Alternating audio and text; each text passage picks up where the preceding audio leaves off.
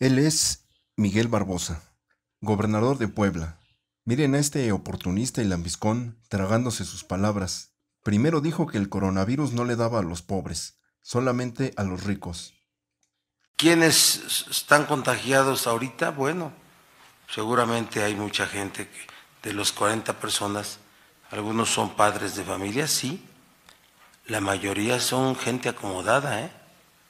¿Sí lo saben o no? Si ustedes son ricos, están tienen en riesgo. Si ustedes son pobres, no. Los pobres estamos, tenemos, estamos inmunes. Ahora que los hospitales de México se están llenando de pobres contagiados, exige que no los lleven a los hospitales de Puebla. Que esos datos que dio el responsable de epidemiología, eso, de la federación, no son ciertos.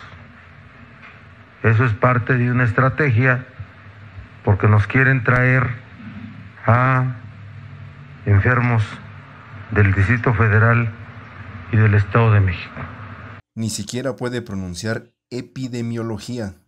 El responsable de epidemiología.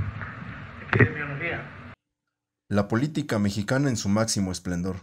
Primero peleó con López Obrador.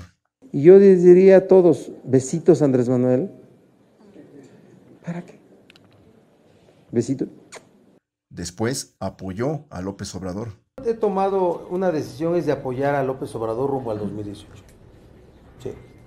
Esa es una decisión que ya tomé. ¿Sí? No estoy pensando en incorporarme a Morena. Y López Obrador le brindó su perdón y lo purificó. Cuando el líder, el Mesías iluminado, te brinda su perdón, te purifica y te bendice, ya chingaste, ya quedaste de gobernador. Este es el costo de tener a un caudillo de presidente, un caudillo bendito que otorga perdón y redenciones a cambio de idolatría incondicional. El costo es que terminen estos ineptos en el poder.